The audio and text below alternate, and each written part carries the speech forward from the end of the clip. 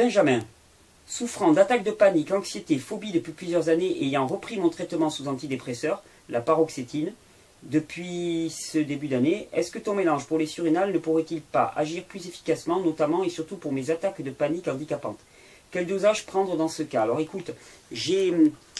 Ouais, le mélange pour les surrénales est essentiel parce qu'il va donner l'assise. Et comme tu l'as vu dans la vidéo précédente certainement, euh, en attendant, en béquille temporaire, il y a des plantes qui peuvent t'aider effectivement, en ajoutant bien sûr le régime physiologique. Ça va de pair. Alors, en ce qui concerne l'utilisation de la griffonia, euh, de la rhodiola, du millepertuis, attention, ce sont des plantes extrêmement puissantes. Alors, le millepertuis peut être bien, bien dosé, ça oui. Je vous l'ai dit, on peut dépasser les doses. Attention, la griffonia et le rhodiola sont des plantes extrêmement puissantes. On y va tout doux au début. À l'écoute, à l'écoute. C'est pas plus, c'est mieux. On y va tout doux au début. Je ne suis pas ici pour donner des posologies ni des prescriptions, mais euh,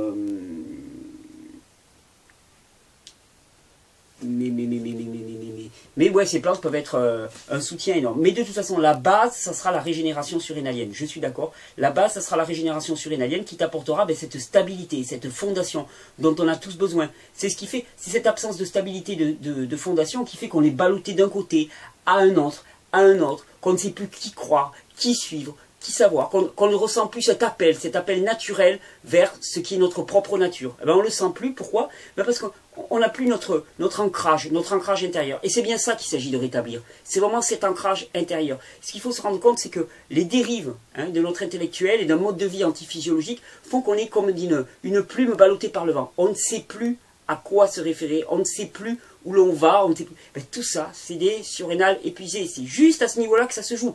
C'est pas la peine de passer des années sur des, des, divans de psychiatres, de psychiatres et de psychanalystes. Si on a des surrénales épuisées, c'est déjà une bonne raison que ça ne fonctionne pas. Donc on commence par régénérer ça, et vous allez voir, la détoxination et la régénération psychique, mentale et émotionnelle se fera de manière corrélée. Ça se fait.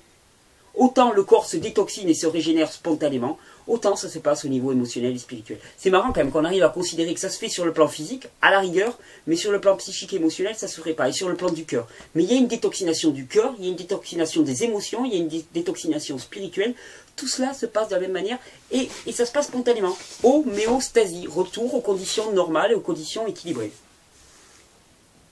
Euh...